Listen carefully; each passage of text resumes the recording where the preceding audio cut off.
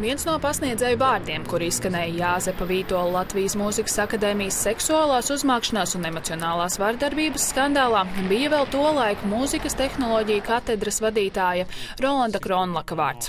Anonīma studente apliecināja, ka pasniedzējs ar viņu vairākus gadus sazinājies, tika publiskoti arī 2019. gada abu sarakstas fragmenti. Ētikas komisija Rolandam Kronlakam februārī piesprieda disciplināru sodu. Aptuveni pēc mēneša viņš tika atstādināts. Viņa manuprāt, pretiesiski.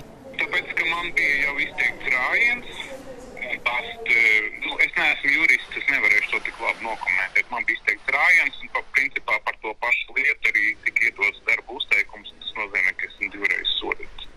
Šodien abas puses tikās tiesas zālē. Kronlaks pieprasīs kompensāciju gandrīz 100 eiro, kā dienas vidējo izpēļņu par kopējo piespiedu kavējumu laiku un atjaunošanu darbā. Tiesas sēdē piedalījās vien abu pušu advokāti, kuru tiesas procesu atteicās komentēt. Prasītājs atzīst, ka viņa kopumā rīcība vēsturiski nenošķirot profesionālos un personiskās dabas jautājumus, eh, ir iespējami pārkāpums, nevis iespējami, bet ir pārkāpums zināmas ētikas normas par konkrētiem pārkāpumiem. Prasītājs tika sodīts ar disciplināru rājienu, piemēram, tika piemērota disciplināra atbildība, un šīs lietas ietveros tālākās darbības, kas notikās, un arī kuras rezultējās uzteikumā, jau ir dubultās sodīšanas aizlieguma pārkāpums. Mūzikas akadēmijas advokāti gan uzsvēra, kad Kronlakam tika piespriests disciplinārs sots, akadēmijas rīcībā bija tikai viena studenta liecība.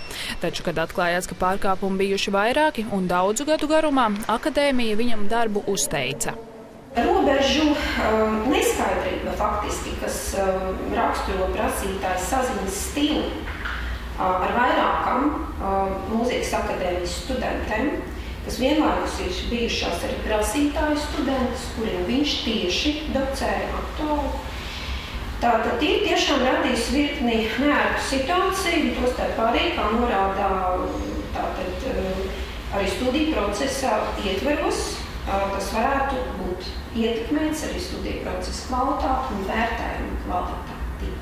Tiesas sēde noritēja vairākas stundas un notika abu pušu uzklausīšana. Nākamā sēde plānota jaunadēļ. Ja tiesa lemtu par labu Kronlakam un viņu atjaunotu amatā, jautājām, vai viņš grasās atgriezties darbā. Ja jūs tiksiet atjaunots, jūs arī turpināsiet darbu? Protams, jā.